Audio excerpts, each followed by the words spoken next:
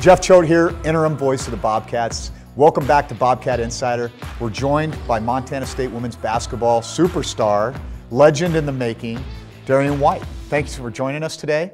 Um, you're a Boise girl, well, actually Meridian, right? Boise, but I went to school Meridian. Okay, Mountain View High School. Okay, uh, we've got another Mountain View High School grad here competing in athletics at, uh, at Montana State University, our starting quarterback from last year, Tucker Rovig. So, how old were, were you at? Did you go to Mountain View the whole time?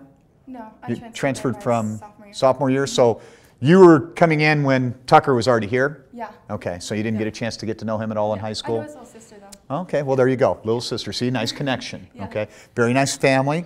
So how, how was your experience? Uh, it- what was your favorite thing about competing at Mountain View? I know a very competitive environment, especially that West Ada School District with Rocky Mountain, Mm-hmm. Eagle, um, even you know back in the day, Meridian, Centennial, those types of places. So, what was the thing that drew you to Mountain View in particular? Honestly, my, my coach, um, she was really good. She knew so much. You know, it wasn't just some. I feel like a lot of high school coaches aren't. Um, I don't know. They they don't take things. Well, they got I to mean, well, they got to teach too, you Yeah, know. So it's not just about ball all the time, you know, because that's I was a high school teacher and coach too, and, Yeah. and I was a two-time teacher of the year, and so my number one thing was education. I didn't really care about Yeah. ball, and that was a lie right there. But that's Uh-huh. okay. We'll roll with it. So.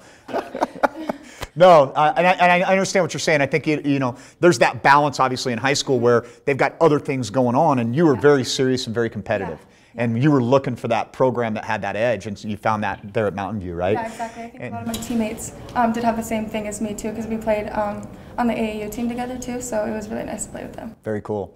And then, what was the thing that sealed the deal for you in, in terms of deciding to come to Montana State to play basketball? Just a family-oriented place. This place is. It's just like Boise. You know, it's pretty low key. It's a college town. You know, we get a lot of support, and so, and the coaches obviously here too are just amazing. Awesome. Yeah, I know Coach Ben spent some time in Boise. She's a you know Bronco legend, and uh, you know uh, we were talking off the off the camera a moment ago about how our connection. I spent six years in Boise. I had to explain that I didn't spend six years going to college at Boise State, um, and then uh, we talked about Coach Binford having an extended career at Boise State as well. And so uh, that that's a an interesting place because you mentioned College Town.